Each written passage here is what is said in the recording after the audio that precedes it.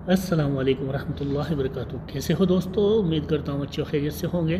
दोस्तों, मोबाइल पे के कार्ड की इन्फॉर्मेशन कैसे निकालें? मोबाइल पे के एटीएम कार्ड का नंबर कैसे निकालें? एक्सपायरी डेट और सीवीवी कोड कैसे निकालें?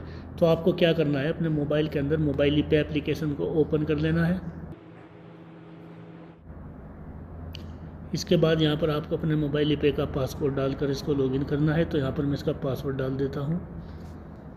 पासवर्ड डालने के बाद नीचे साइन इन इसके ऊपर क्लिक करना है। इस तरह का इंटरफेस आपके सामने आएगा। तो यहाँ पर आपको नीचे कार्ड यहाँ पर क्लिक करना है। इसके बाद यहाँ पर आपको देखने को मिल जाएगा सबसे लास्ट में कार्ड इन्फॉर्मेशन यहाँ पर आपको क्लिक कर देना है। जैसे ही यहाँ आप क्लिक करेंगे तो यहाँ पर आपको अपने मोबाइल पे का छः अंकों का पासवर्ड डाल देना है। तो यहाँ पर मैं अपना पासवर्ड डाल देता हूँ। पासवर्ड डालने के बाद कन्फर्म यहाँ पर क्लिक करना है। अब आप यहाँ पर देख सकते हैं, आपके मोबाइल की पूरी इन्फॉर्मेशन यहाँ पर शो हो जाएगी।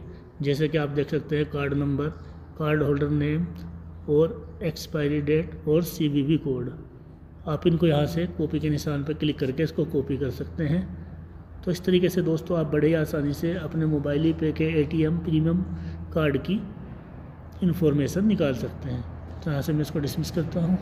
वीडियो अच्छी लगे, वीडियो को लाइक करके चैनल को सब्सक्राइब कर देना और इस वीडियो को अपने दोस्तों में शेयर कर देना।